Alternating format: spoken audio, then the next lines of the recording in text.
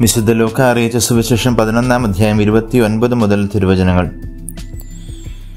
ഈ ഭാഗം നൽകുന്ന ഏറ്റവും പ്രധാന സന്ദേശം ലൂക്കായുടെ വിവരണത്തിന്റെ കേന്ദ്ര പ്രമേയമായ സാർവത്രിക രക്ഷ തന്നെയാണ്.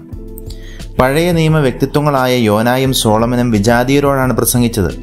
അവർ അതിൽ വിജയിക്കുകയും ചെയ്തു. സോളമൻ രാജാവും യോന പ്രവാചകനുമായിരുന്നു. എന്നാൽ യേശു രാജാവും പ്രവാചകനുമാണ്. യേശു നൽകുന്ന ദൈവത്തിന്റെ ജ്ഞാനം യഹൂദർ വിചാരി വിജാതീയരെന്ന് വിളിച്ചവർ സ്വീകരിക്കും. യേശു ഉപദേശിക്കുന്ന ജ്ഞാനം സ്വീകരിച്ച് അതിൽ വിശ്വസിച്ച് നിനിവേക്കാരെ പോലെ അനുദപിക്കുന്നവരാണ് വിധിക്കപ്പെടാതിരിക്കുക. അതിനു പകരം ഈ തലമുറ അവനിൽ നിന്ന് അടയാളം ആവശ്യപ്പെടുകയാണ്. ദേവചനം സ്വീകരിക്കാത്ത ദുഷിച്ച തലമുറയായിട്ട് ഇത് മാറുകയാണ്. മനുഷ്യ ചരിത്രത്തിൽ ഉടനീളം പുതിയ വെളിപാടുകളിലാണ് മനുഷ്യന്റെ ശ്രദ്ധ. ഇത് ഈ തലമുറയുടെ പ്രത്യേകതയാണ്.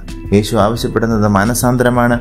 മാനസാന്തരത്തിലൂടെ മാത്രമേ സ്വർഗരാജ്യത്തിൽ പ്രവേശിക്കുവാനായിട്ട് സാധിക്കുകയുള്ളൂ. നമ്മെ ജീവിക്കേണ്ട കർത്താവായ ശംശന്റെ കൃപയും പിതാവായ ദൈവത്തിന്റെ സ്നേഹവും പരിശുദ്ധാത്മാവിന്റെ സഹവാസവും നിങ്ങൾ എല്ലാവരുടെ കൂടെ ഉണ്ടായിരിക്കട്ടെ. ഇപ്പോഴും എപ്പോഴും എന്നേക്കും. ആമേ വചനവയൽ ആപ്പ്.